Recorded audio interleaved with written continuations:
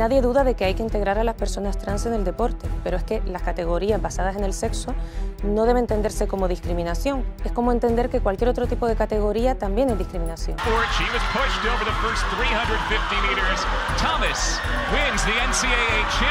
Yo he tenido que estar hablando con mujeres deportistas y escuchar y aguantar, entre comillas, cómo lloran de la impotencia, porque me dicen, Irene, es que no puedo decir nada.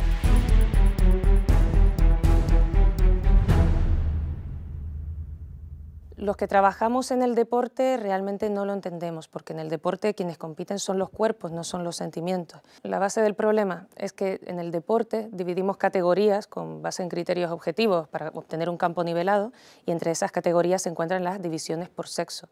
Y claro, hay personas que eh, afirman que se sienten de un sexo que es diferente al que tienen ellos eh, de forma biológica y quieren competir conforme a ese sexo. Lo que pasa es que, bueno, el sentimiento o la autopercepción o la identidad de género, que es como se le denomina, no cambia esa realidad material. Y el problema aquí está en que la división por sexos no es por gusto, sino que obedece a que hay una superioridad física de los hombres respecto de las mujeres. Hay una masa total mayor de los hombres respecto de las mujeres, entre un 30 y un 40%, una mayor masa muscular también, un 30% menos de masa grasa, más altura, una estructura ósea diferente, una multitud de características, incluso pulmones y corazones más grandes.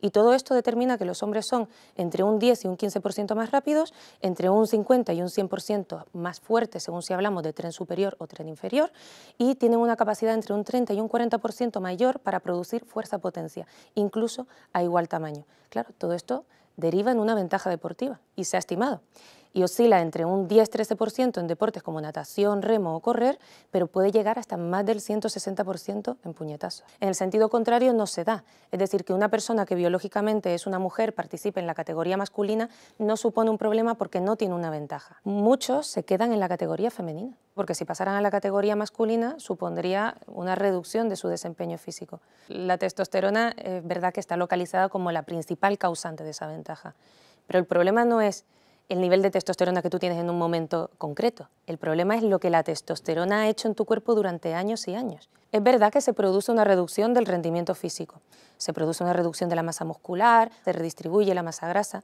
pero no se elimina la ventaja por completo. ¿Por qué? Porque hay cosas que no se pueden cambiar. No se reduce la estatura, no se reduce el tamaño de los pulmones y corazón. De hecho, Joanna Harper, que es una atleta mujer trans que fue asesora del Comité Olímpico Internacional, ha reconocido en numerosas ocasiones que hay una ventaja del sexo masculino respecto al femenino y que no es posible de eliminar. Lo ha reconocido en diversas ocasiones y también ha llevado estudios a cabo al respecto.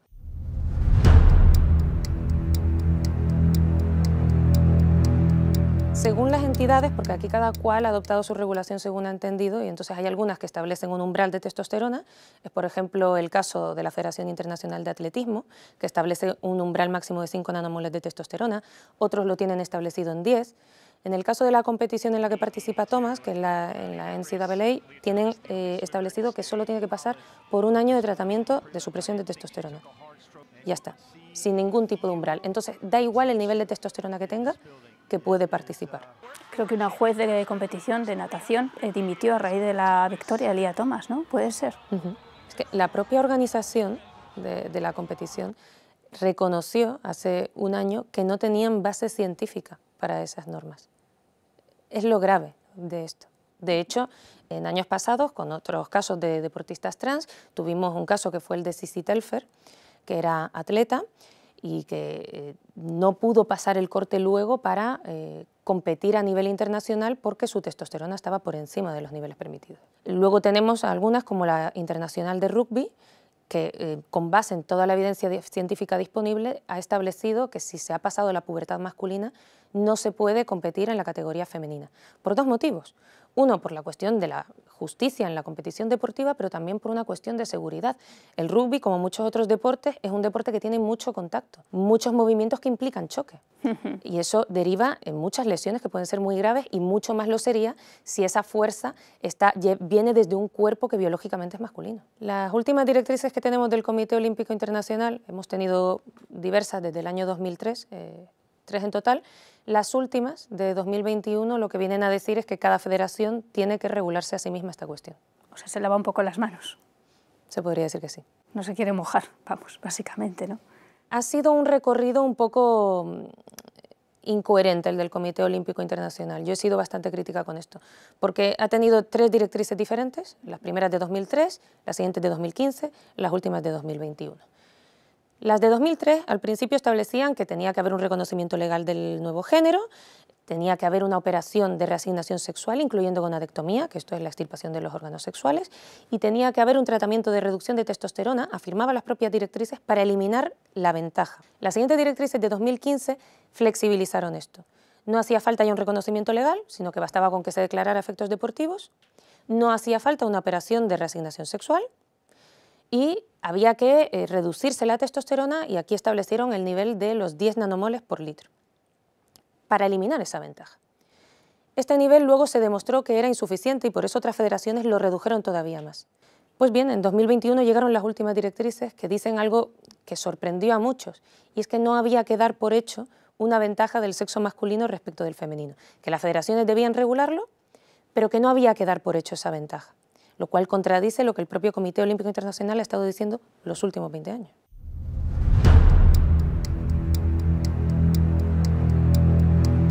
A nivel autonómico tenemos ahora mismo 10 leyes trans autonómicas que establecen que se debe competir conforme al sexo sentido en lugar del biológico.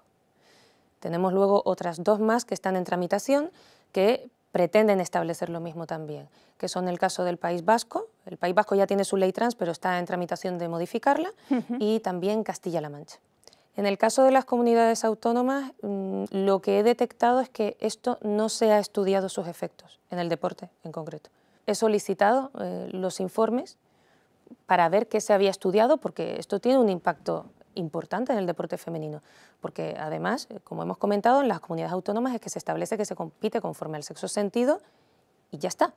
Ni nivel de testosterona, ni tratamiento de supresión de testosterona, ni nada, que aunque tampoco es una buena solución, criba un poco y establece unos requisitos, claro, es algo, ya te aseguras que son personas trans, eh, yo no digo que vaya a haber personas que vayan a utilizar esto con malicia, pero lo cierto es que las leyes trans autonómicas, estas 10 que he comentado, tal y como están planteadas, no es que se permita a las personas trans competir conforme a su sexo sentido, es que permite a cualquier persona competir conforme a su sexo sentido. Esto quiero decir que eh, competirá, si dice sentirse mujer, tendrá que competir en la categoría femenina, aunque sea una persona, hombre de sexo masculino, de 100 kilos de peso.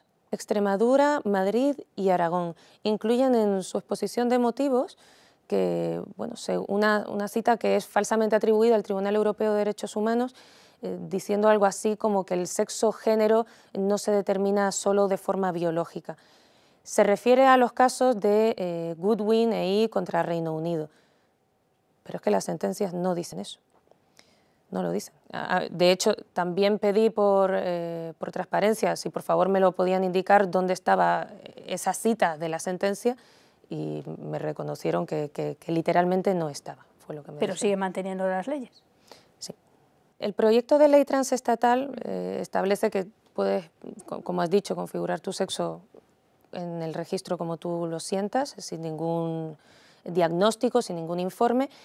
Para el deporte sí es cierto que tiene previsto que se, eh, habrá que atender a las regulaciones eh, deportivas internacionales. Podría darse el caso de que en unos sitios hay una regulación y en otros sitios otro, como en realidad ya sucede. Eh, tenemos ahora esas 10 comunidades que establecen que se debe competir conforme al sexo sentido, pero a nivel estatal eso no existe.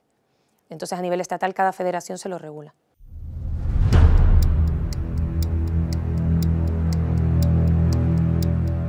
Esto se está vendiendo como que es para la inclusión, pero no es cierto. Cuando personas de sexo masculino entran en la categoría de sexo femenino, se producen muchas exclusiones. Cuando Lía Thomas rompe un récord, fíjate todo lo que sucede. Se excluye a una mujer de ostentar el récord, se excluye a una mujer de ganar esa competición, se excluye a una mujer del podio, a todas las mujeres de esa competición de su posición en la clasificación, a una mujer de acceder a otra competición, porque dependiendo de la clasificación se acceden a competiciones superiores, a una mujer de participar. Así que no es que se produzca una, se producen decenas de exclusiones y esto hay que multiplicarlo por todas las veces en las que Thomas participa en una competición femenina. En el caso de Estados Unidos, además, el acceso, por ejemplo, a una beca deportiva en una universidad. Es que esto tiene muchas más consideraciones más allá de hoy no juega, no, es que esto no es solo jugar. Es que del deporte de competición dependen muchísimas cosas y de la clasificación depende nada más y nada menos que el sustento de los deportistas. Depende su salario, dependen sus patrocinios, depende que pueda acceder a otros clubes o a otras competiciones, a becas. Yo hablo con mujeres deportistas sobre este tema, están muy preocupadas con esto, pero es que a eso hay que añadirle que se ven obligadas a callar frente a esto. Y esto resulta muy doloroso. Yo he tenido que estar hablando con mujeres deportistas y escuchar y aguantar, entre comillas, cómo lloran de la impotencia, porque me dicen, Irene, es que no puedo decir nada. Y es que eso es además un maltrato psicológico.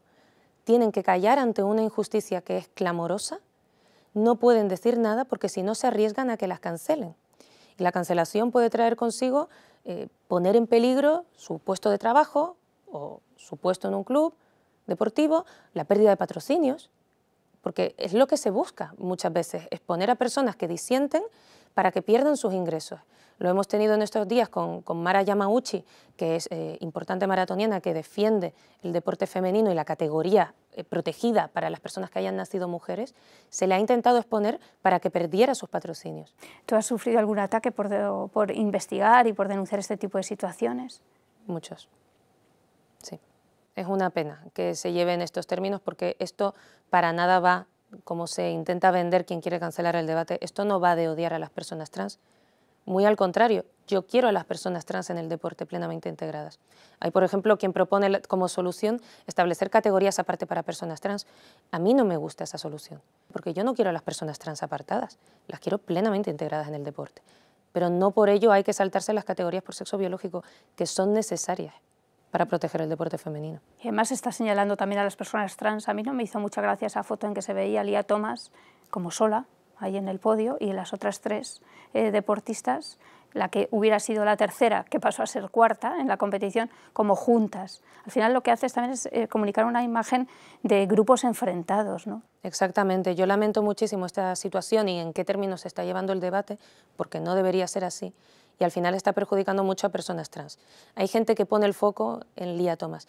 Lía Thomas no es la culpable de esto. Lía Thomas cumple las normas y tiene el derecho a practicar deporte conforme a las normas que estén establecidas. La culpa de esto es de las normas. Es eso lo que tenemos que cambiar, porque están mal y está demostrado científicamente. Lo que está produciendo es que se ponga eh, en la diana a personas trans generándoles una exposición mediática enorme y horrorosa no solo ha pasado con Thomas, ha habido otro caso también en Reino Unido, Emily Bridge. Y ha estado sometida a una exposición pública muy grande y que lamento muchísimo que esté pasando tanto ella como todas las personas a las que se van a ver, como digo, por culpa de la normativa. Yo hablo también con deportistas trans y no están de acuerdo con competir conforme al sexo sentido, así que son personas concretas. Hay algunas que lo han dicho públicamente, como por ejemplo el caso de Kylie Jenner. Yo sobre el movimiento queer no puedo dar muchas señas porque no, no soy experta ni mucho menos en, ese ámbito, pero sí es cierto que, que, me he encontrado con comentarios que son bastante retrogrados en ese sentido de, bueno, si la niña está jugando al fútbol es porque es un niño, o si el niño está jugando a ballet es porque es niña, cuando realmente lo que tenemos que conseguir es lo contrario, que sea niño o sea niña pueda jugar al deporte que quiera y que eso no quiere decir nada, tenemos que derribar esos estereotipos. Tuvimos hace no mucho un caso de un gimnasta canario que fue eh, criticado abiertamente por otra deportista por hacer eh, gimnasia, diciendo como que un hombre no podía hacer eso. Esto es lo con lo que tenemos que acabar.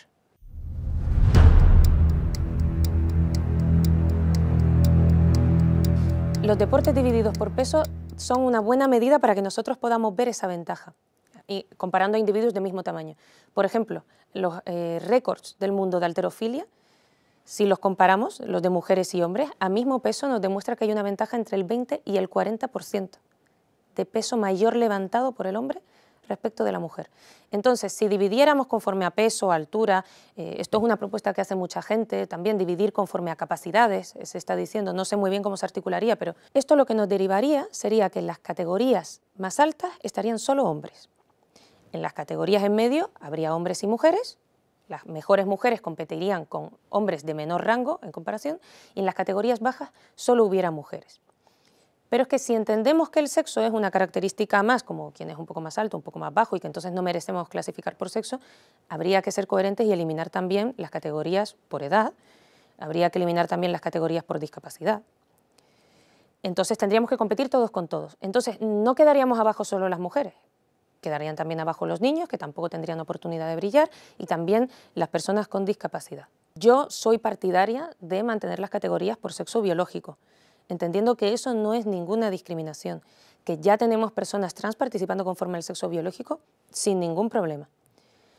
Otra opción que se está poniendo sobre la mesa también es garantizar, porque al final lo que hay que proteger aquí es la categoría femenina, pues que la otra categoría sea una categoría abierta en lugar de masculina y ahí podría participar cualquier persona de cualquier sexo y independientemente de su identidad de género. Si es hombre trans, se le trata con su identidad sentida, con su nombre, sus pronombres, en pleno respeto, sin discriminación. Y va a ser igual de hombre trans en una categoría o en otra. Pero biológicamente compite en la categoría que le corresponde.